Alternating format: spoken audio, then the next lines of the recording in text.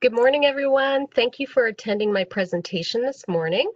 Today, I'm going to talk about the sample preparation techniques that I use in the FHS facility, um, the ones that are different from techniques that are already available in the main CCEM facility in ABB.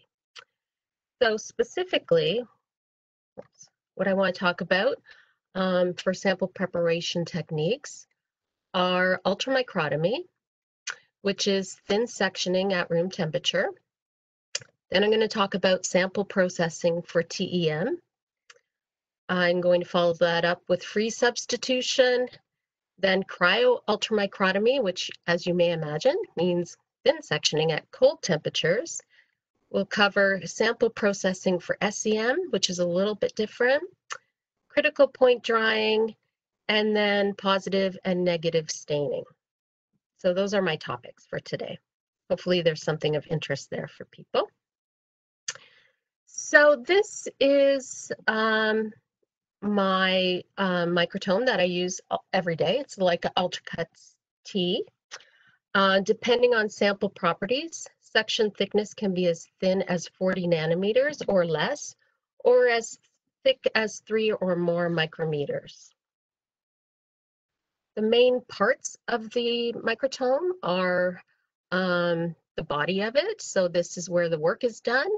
And there are binoculars so that I can see what I'm doing up close, uh, especially when I'm trying to align my knife edge with the block so I don't damage anything.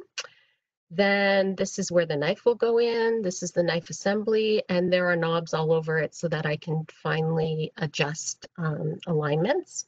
At the back is the arm for where the sample goes into.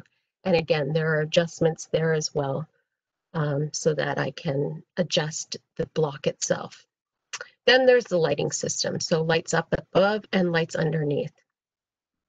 Then on the right hand side, you can see the control panel. So from here, I can control speeds of cutting, uh, the window length. So that's meaning where it will start to cut and where it will stop cutting. I can control the return speed so I can make it go faster if I'm finding that my day is taking too long and I want to speed things up a little bit. Um, how quickly I approach my block face with the knife assembly. Um, over here is illumination to turn lights on and off. And then the most important part is how thick or how thin I want to make my sections. And this little green button here allows me to turn on the automatic cutting. So I can sit back and just watch through the binoculars as I'm making my sections.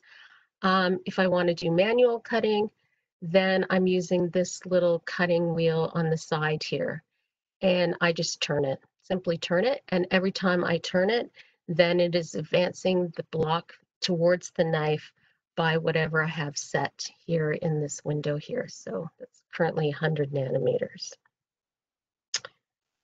Okay, so to be thinly sectioned at room temperature, a sample would have to be inherently hard on its own, or more likely, I need to embed it in resin.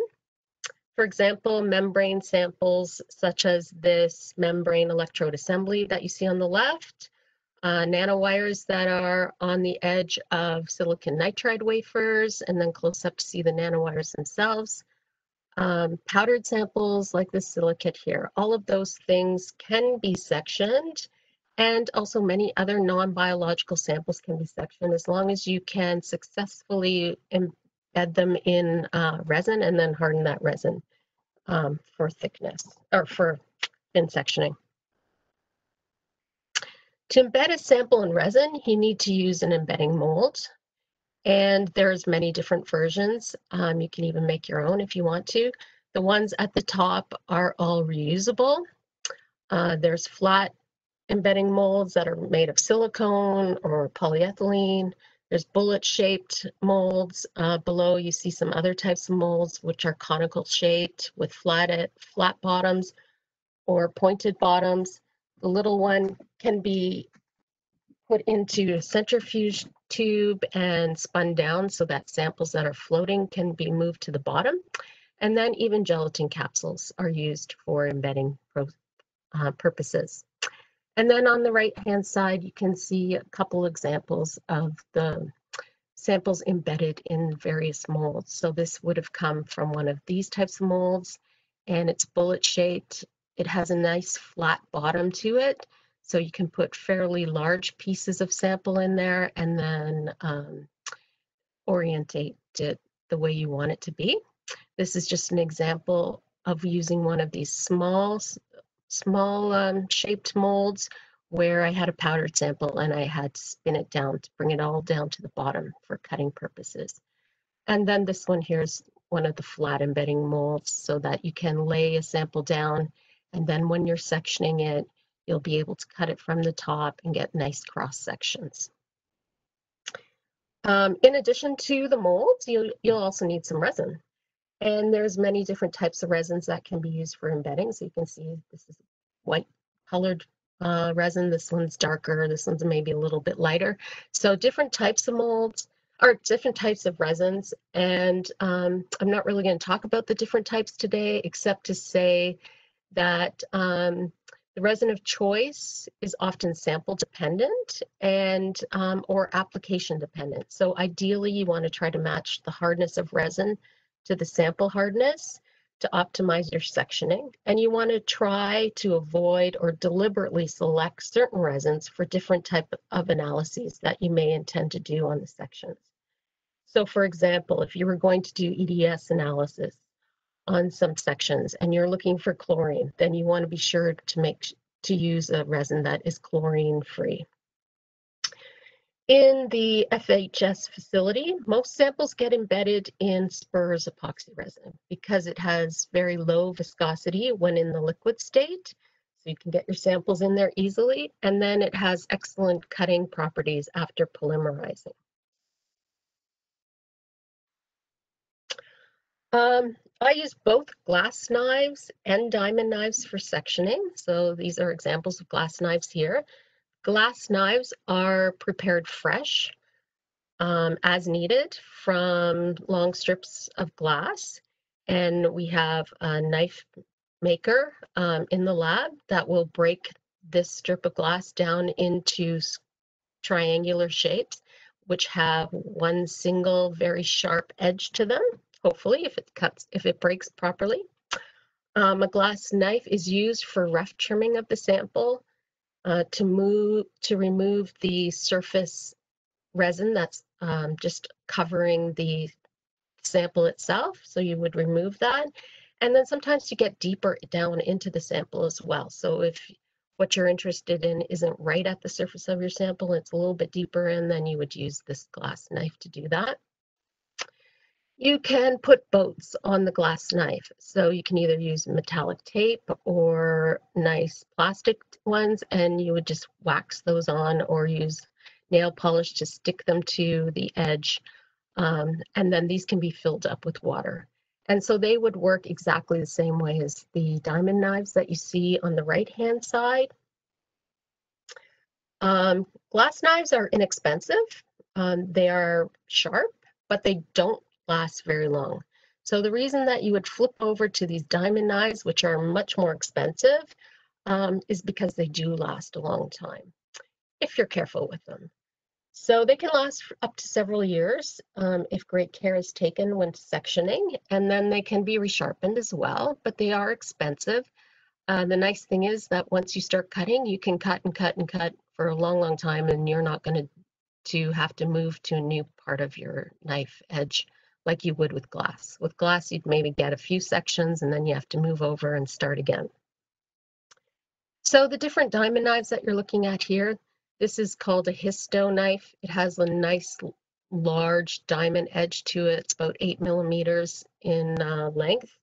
And those are used for making thicker sections. So something from say 200 nanometers and up.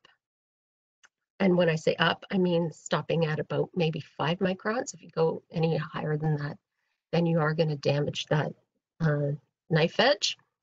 So that's what that would be used for. The one in the middle is an ultra thin knife with edge length ranging from about two and a half to four millimeters. And those are for cutting sections of 150 nanometers or thinner. And then the knife that's on the right hand side is a cryo diamond knife. So it has no boat for water. And I'm going to talk a little bit more about cryo sectioning shortly. When you have a block that's ready for sectioning, it gets clamped snugly. So here's my block, gets clamped snugly into this um, assembly called a chuck. And then that's placed on a trimming block and that gets put onto the microtome. And then I'm going to use a razor blade and on the left hand side you can see this little outline of a trapezoid. I'm going to use the razor blade to trim away all the excess resin around the edges of that piece of sample that I'm interested in. And I'm being careful looking through the binoculars so that I'm not going to damage the sample at all or cut away parts that I, I may actually want to look at. Then the trim block um, is placed into the cutting arm of the microtome and a glass knife is inserted into the knife holder. Everything's lined up using this arc of the arm to line up the um, angle of the block to the knife edge. And again, using the um, alignment knobs on the knife assembly itself to line that those angles up as well. And excess resin is cut away, as I said before, from the surface of the sample or cut a little bit deeper than that. After all this trimming is done, then you can use your histo knife if you'd like to cut a little bit thicker sections. So um, maybe you can see some of these sections floating in the water here. And then this is just trying to demonstrate, it was hard to take this picture, uh, of how I would pick up these thicker sections. So I'm using a loop and I just insert it into the boat that's filled with water and try to lift the sections out of the water um, onto my loop. And then those sections are transferred to a glass slide and dried down, and then they can be looked at in a light microscope so that you can see where you are on, on your section or on your sample to see if you're actually sectioning through the part that you're interested in, or if you have to go a little bit deeper still. And then once you've verified that you're actually in a good area of the block, that's uh, what you're looking for, then you switch out your knife a third time, and now you're onto your thin sectioning knife and this is where precise alignments need to be done so that you're not going to damage that very thin knife edge. And you make some nice thin sections. So again, you can see a few sections floating on the water. These are the sections that I'm going to pick up for TEM. And so this is trying to demonstrate how I would do that. Um, I have a stick here, and on the end of the stick is an eyelash. In my other hand is my forceps holding a grid. I insert the grid into the water and then I use the eyelash while I'm looking through the binoculars, of course, to herd those very thin sections. And those sections, if you, if I go back one page, they look um, very silver or golden in color. Those would be 80 to 100 nanometer sections. Um, I'm trying to herd those onto the surface of my grid and then ultimately um, we'll have multiple sections or at least one large section in the center of my grid. Um, beside my microtome is another microtome called an Ultracut E microtome. It's very similar to the one I use, just a little bit older. And this can be used for training purposes. Once um, COVID eases up a bit, hopefully it will, um, then I'd love to have people come and train if they'd like to. Um, you'll be using glass knives. That's how everyone learns to section before they advance to diamond. So you would be using glass just like I did many years ago. So what I've been talking about so far is um, sectioning of non-biological samples that can simply be put into resin, hardened, sectioned, uh, but biological specimens such as tissue samples, um, so pieces of muscle, pancreas, kidney, even mouse eyeballs, which I've sectioned before, um, or even bacteria and viruses that are in culture media can be put through a processing um, series and then um, sectioned later on. So this is a very nice flow chart from Bozzola and Russell. Um, so at the beginning, specimen acquisition. So you're taking whatever sample you're interested in, and then you're cutting down to get to the pieces that are of most importance to you. Um, the biological specimens have to be fixed in an appropriate fixative solution as soon as possible after collection because they will start to degrade right away. Ideally, the fixative should preserve the structure of the specimen at the point that it was introduced into the fixative, and then it should protect the specimen from structural changes during the remaining processing steps, and ultimately during the exposure to the electron beam. Some fixatives are better than others for certain types of samples um, or for preservation of specific ultrastructure features. And so this should all be considered beforehand before you start collecting your specimens.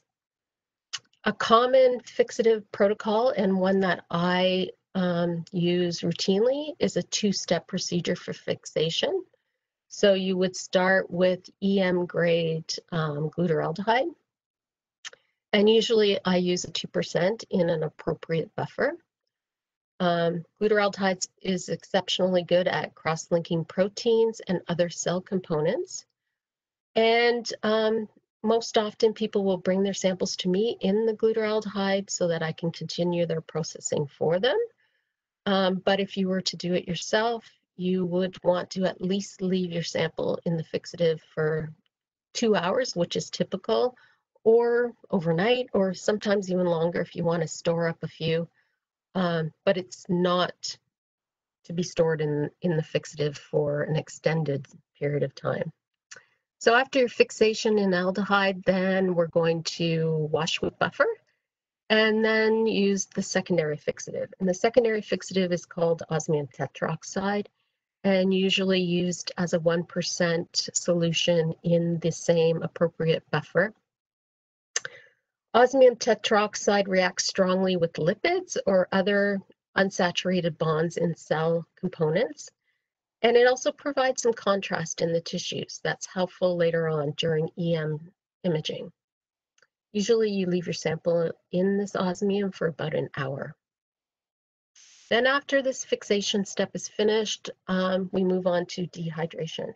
And so in this dehydration stage, the water is slowly replaced by increasing increments of solvent. So for example, ethanol in increasing concentrations, I normally start at 50% and then two 70% and then a couple 95%, followed by a few more 100%.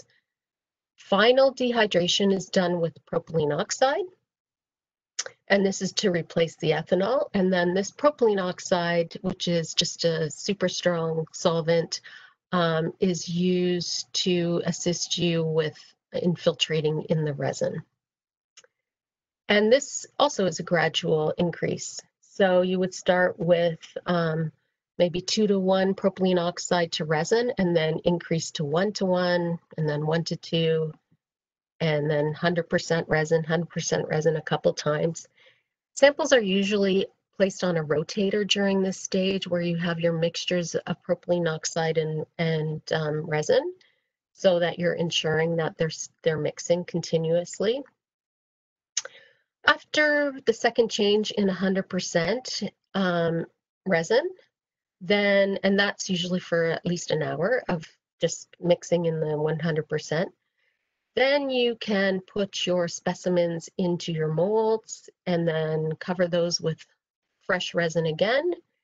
And those get placed in, sorry, those get placed into a 60 degree oven overnight to polymerize. For most sample types, this whole process from top to bottom can be done over a 24 to 48 hour period. But there are exceptions where you may want to increase the increments, um, the duration, if you're having trouble with your fixations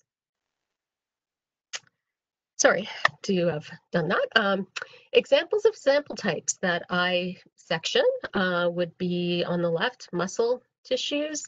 This would be from probably mouse, but it could also be human as well. Uh, cell monolayers or cells themselves, bacterial cultures, and then this colored image on the right-hand side is of uh, through an entire small nerve. Um, it's from human and it's a thick section. So to give you an idea of what you can see with the thicker section, so this would be about one micron.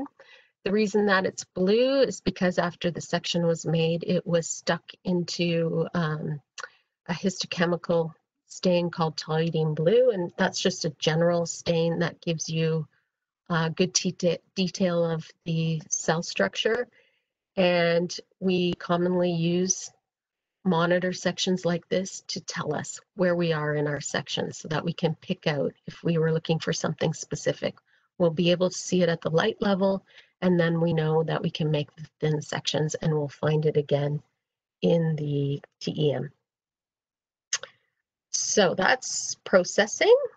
Um, the next thing that I want to talk about is freeze substitution. So even though chemical fixation, which I've just finished talking about, um, does an excellent job of quickly penetrating and fixing samples, um, there are cases where it may be more appropriate to rapidly freeze a sample.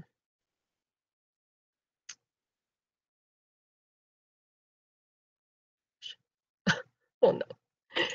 Um, so in so there may be cases where it's more appropriate to freeze a sample. So like by high pressure freezing or plunge freezing in order to ensure that diffusible molecules are kept in place.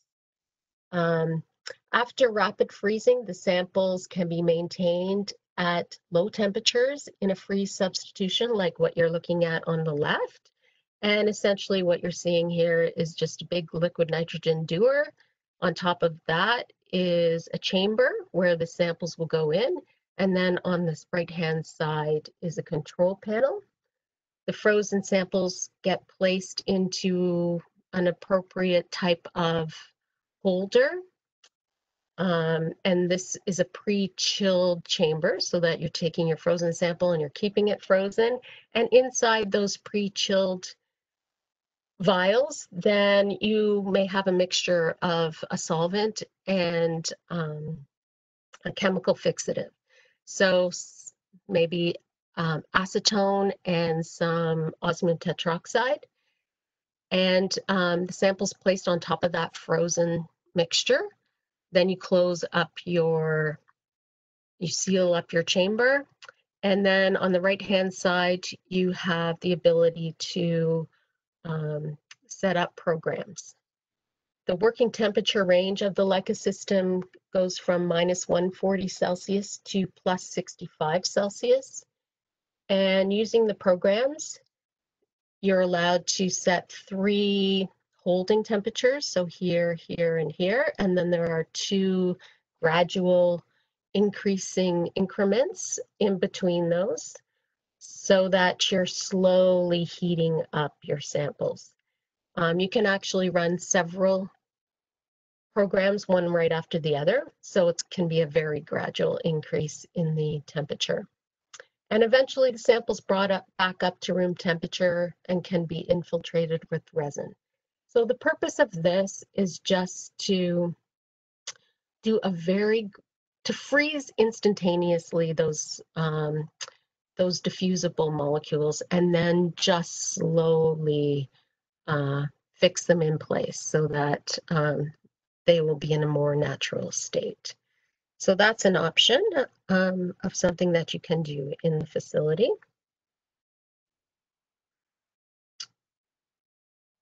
Oops.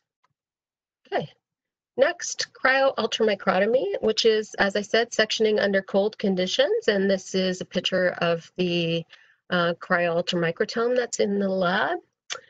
It works essentially the same way as the ultramicrotome, but it uses liquid nitrogen, which is just off to the side here, to cool to temperatures as cold as minus 170 degrees Celsius. The chamber is, is here on the left-hand side. Um, this is where the sample will go in, and this is your knife um, assembly here.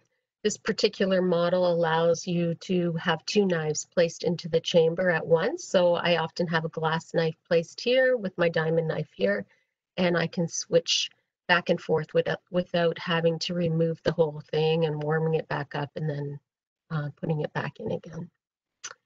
The control panel on the right has similar controls to the ultramicrotome, so you can control your speed of cutting, you can control your thickness as well. Uh, but you also have the ability to control temperature. And you can control the temperature on the sample, on the knife assembly, and then the overall chamber. If you wish to, to cryosection samples like biological tissues that are sensitive to freezing, then they may require pre-soaking in cryopreservatives such as sucrose prior to being rapidly plunge frozen onto cryopins. The frozen samples are then placed in that pre-cooled chamber over here. Um, sectioning is done with glass and diamond knives and can, the sections can be kept frozen so that you can look at them in a cryo TEM. So you would transfer the sections on grids out of this chamber, um, put them into some kind of transfer device and then into the cryo TEM or the grids can be allowed to room up to um, warm up to room temperature and then rinsed off with water to remove any cryoprotectants. And then those are ready for imaging. And examples of sample types that I have cryosectioned um, include polymer mixtures like these ones, and then hydrogels as well. Not so much biological, but um, it can be done.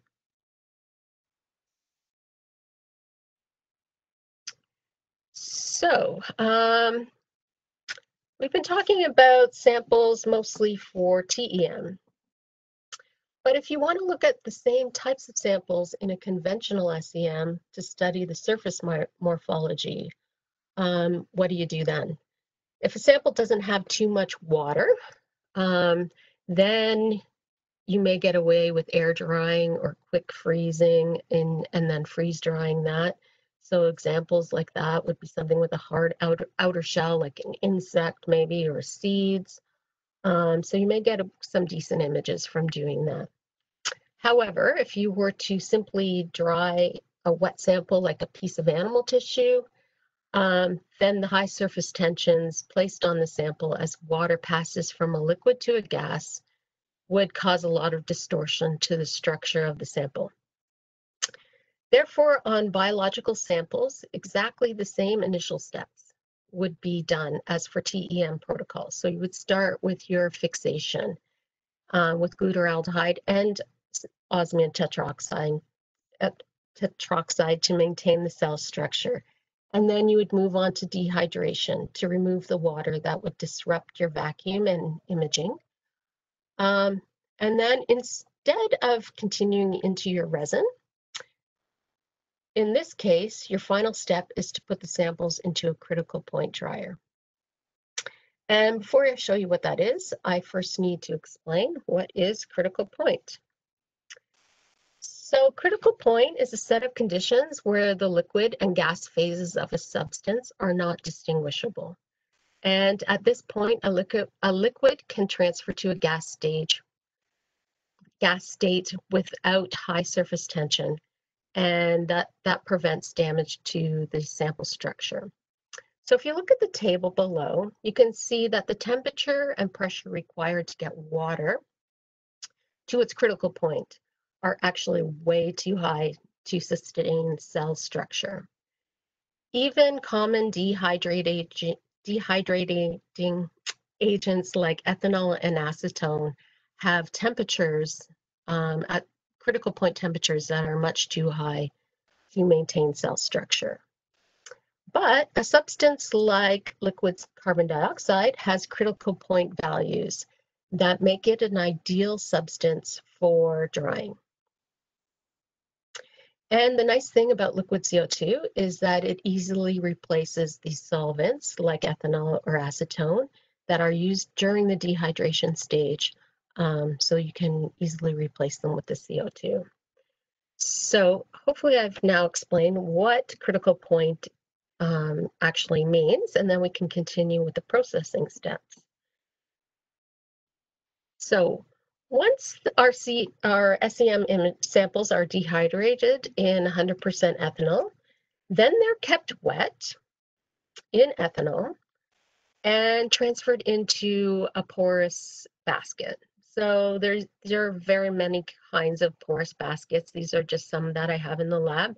Um, this one would be for cover slips. So you can put multiple cover slips into this type of basket here. Um, four samples here, multiple samples. Uh, this one down here is for millipore filters or even grids. The reason that you would put them into a basket is that these holders give some protection to the delicate surfaces while they're in the dryer. And they also allow you to put more than one sample in at once so you can keep track of where your samples are going. So often I'll put a little piece of paper um, with a number or something into the bottom of the basket so I know where to start doing my um, keeping track of, of samples. Then those baskets get transferred into the chamber of the critical point dryer here.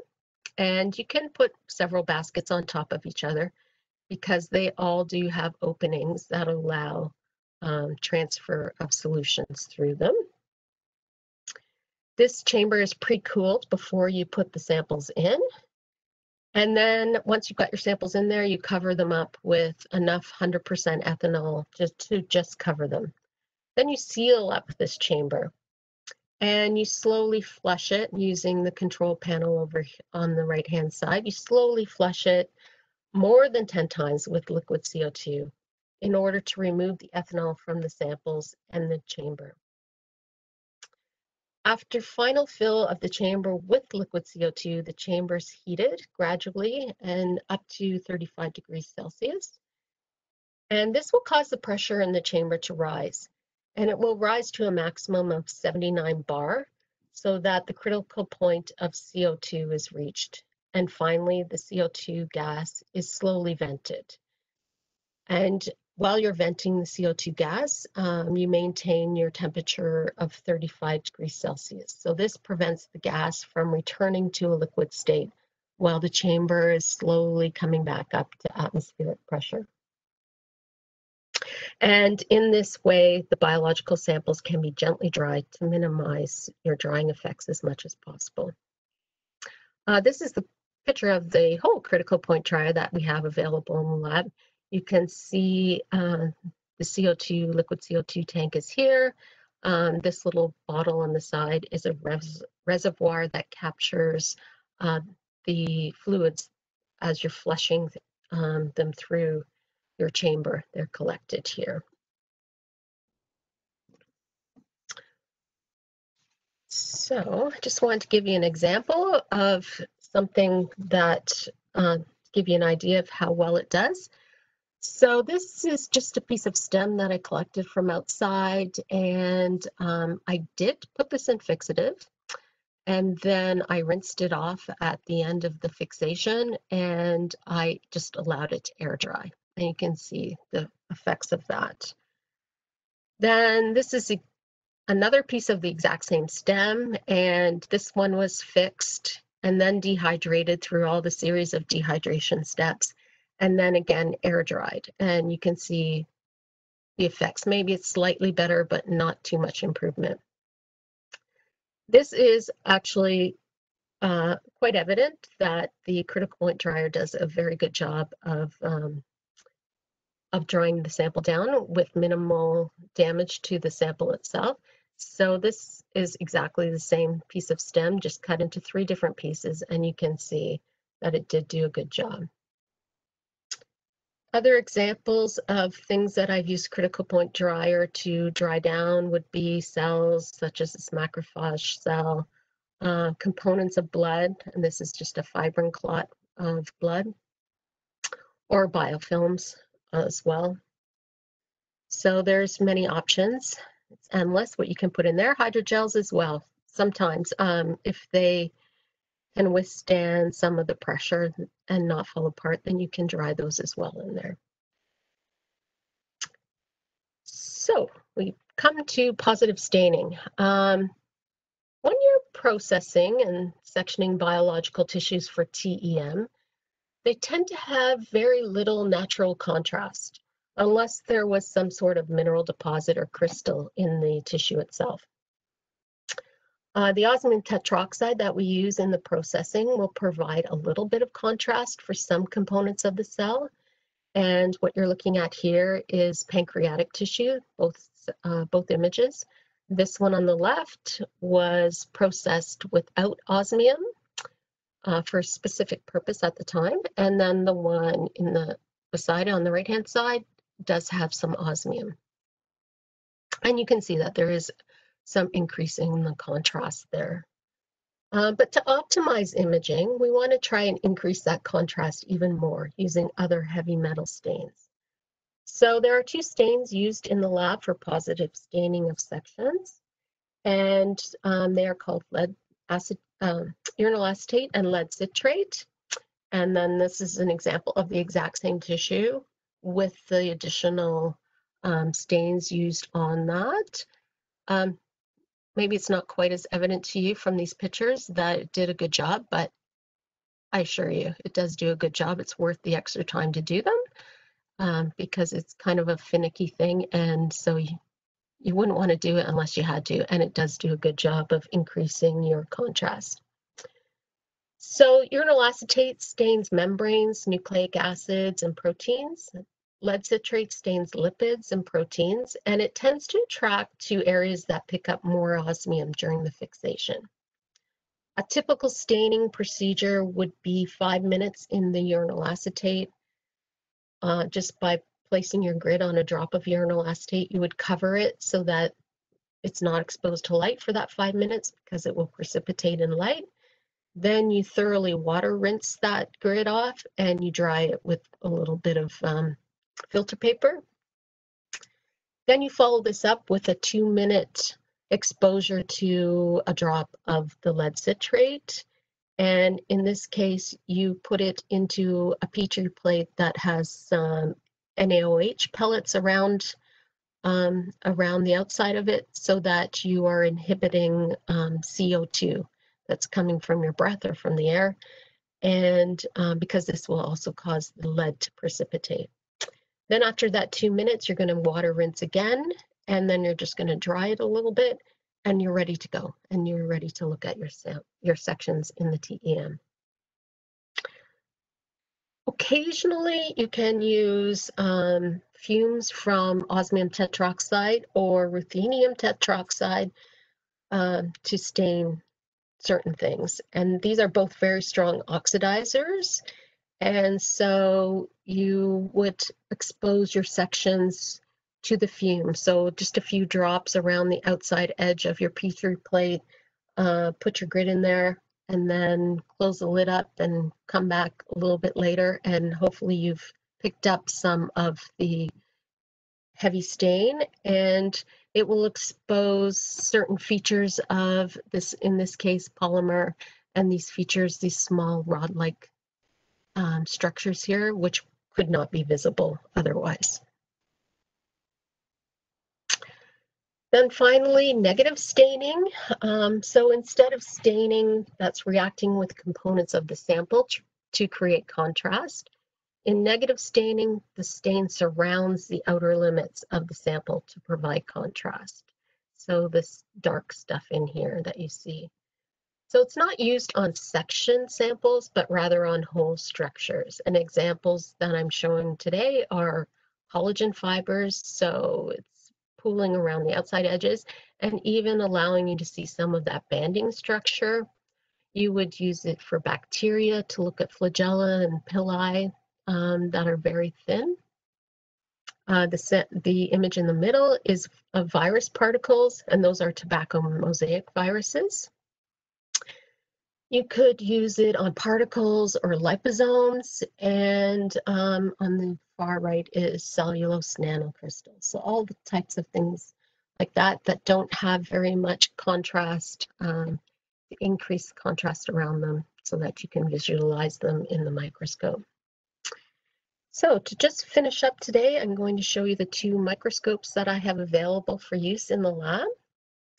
Uh, this is the JEOL 1200EX TEM with an AMT meg 4 megapixel digital camera on the side of it. The microscope is very user friendly and introduction of the sample rod is quick, which is nice. The microscope is typically operated at 80 kV, which provides good stability and contrast for biological samples, but other kV settings are possible. Doesn't get heavily used, so it might be a good option for those interested in imaging up to 500,000 times. And then there is a TESCAN variable pressure scanning electron microscope in the facility. The microscope has an Oxford EDS detector and Inca software. There's a backscatter detector on there that can be used simultaneously with the secondary electron detector. You can uh, view non-conductive samples using the variable pressure mode of the microscope, whereas conductive samples or samples that have been coated with metal are viewed using the conventional high vacuum mode. Here's my list of references or suggested readings for today. Um, I can email that to you if you'd like. Just send me an email and I'll be happy to email it to you. So thank you for your attention today. I hope I've provided you with some useful information that you might be able to use to assist you in imaging your own samples.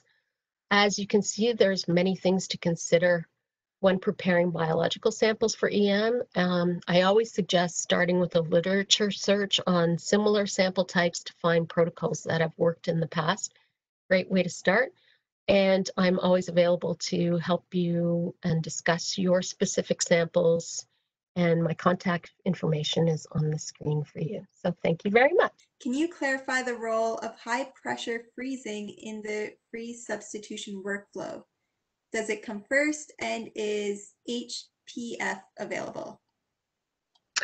Okay. Uh, it no, it's not available any longer. Unfortunately, I did have an HPF in the facility, but uh, due to space constraints, it was taken away. Um, but it would come first. So high pressure free freezing um, is ideal, but you can also do plunge freezing and there is a slam freezer that's available in the facility. So one of those two options is still available and that would come first. And then you take your frozen sample and you would put it into the, um, the freeze substitution unit to finish off your protocol. Hope that explains it.